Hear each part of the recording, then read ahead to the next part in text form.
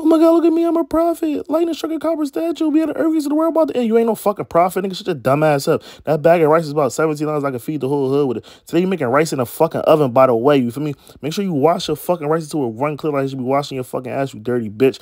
Putting this shit in the pan, you gotta think about this shit going triple inside you. For me, two to one ratio. That means twice as much water as it is fucking rice. You can add salt, garlic, ginger, any type of aromatic you want. If you want to know what aromatic is, look at the fuck up. Put this shit in the oven 400 degrees for about 40 minutes. If it come out wet, that means it's not fucking done. Cook it for fucking longer, dickhead.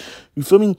Take this shit off. What is happening is it's creating fucking heat and steam in a fucking pan. And there you fucking go. They're gonna fucking steam is releasing. You gotta fluff it too so you can release the excess fucking moisture, dickhead. If you want to do this a different way, you could make it come to a boil on a fucking stove in a pot. Then put it in the oven for 15 minutes. Why would I want to do that? So you can save oven space, oven space, stove top space. You know what the fuck I meant? In case you cook other shit. Like what the fuck? Y'all never use that little